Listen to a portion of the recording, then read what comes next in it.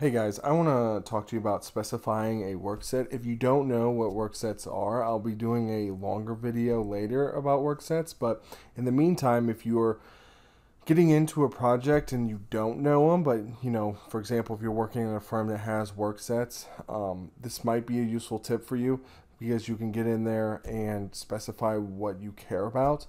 But again, if you are working on Workshare projects, this may not apply to you. So, um, but again, hopefully there's there's something there that you can learn. So we'll go ahead and open up a Workshare project. So if I come up here to the open button, I've got this project too. Um, and over here, uh, next to the open button, you can see this little arrow. So if we, if we click on that drop down, we'll get some options here. So it'll say work sets up at the top. And then we'll get all edit editable, uh, last viewed, specify. Last view it, viewed is generally what it's set at, you know, default wise. It's it's it's mostly set there, and usually for most people that's fine. but you know, if you want to specify, say you're working on a pretty large model, or you're working in a model that you you know don't necessarily care about one item over another. You know, for example, if you are electrical designer and you don't care about the mechanical stuff um, and you don't need it for coordination, well, you can unload that um, before you even open the model. And you would do that by specifying your work sets. If you have work sets set up um, and you have your work sets broken out where the mechanical has their own work set. So when you click on that and then um, click open, you'll get this dialog box. And in this dialog box, um, it just shows you the opening work sets. So these are all the user created ones. And you can see that checkbox down here at the bottom. And then here's uh, essentially where your um, work sets would be. So for example, if I don't care about shared levels and grids, um, then I can come over here and close it and it's not going to open. So right now we can see actually both of them are closed and you know say we want work set one because it has you know maybe everything on it then i would open it. But you know um, you know for the example of of um, the model being super large say we have an entire model put on work set one we can close that and then still open the model. It's just not going to load in all that content. And then here we can say you know shared levels and grids. Say we're just we're getting in there we're moving the grids around because the grids are on this work set.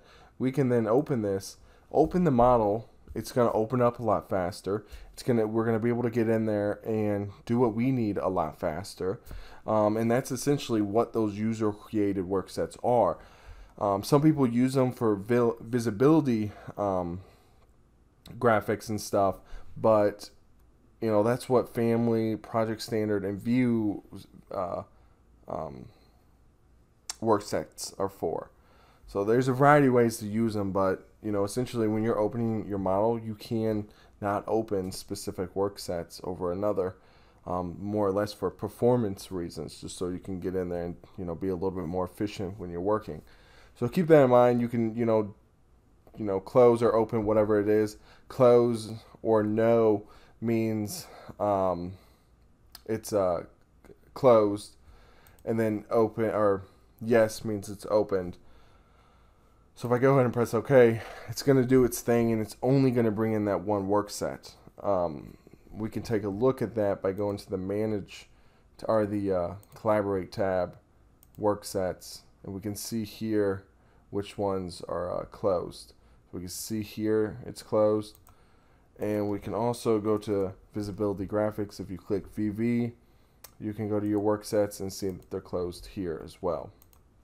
So again I'll do another video kind of talking a little bit more in depth on work sets. We'll get in there jump in the work sets um, dialog box. We'll edit uh, some work sets. We'll add some elements to different work sets. We'll create a new one some new ones and uh, we'll um, mess around with opening, um, uh, you know, specify so we can specify certain work sets and see how that you know really functions but you know just for a quick tip you know this is how you would go about opening certain uh, work sets. It's pretty easy and it, it might be helpful. Again, it depends if you're working, if you're an interior designer and you don't care about some of this other stuff and and you've noticed that while you've been working, you don't need to coordinate much effort with maybe a different um, discipline or a different, uh, um, however the work sets are broken out. If it's even you know just an area of things, then keep that in mind and just don't load those elements and just specify them.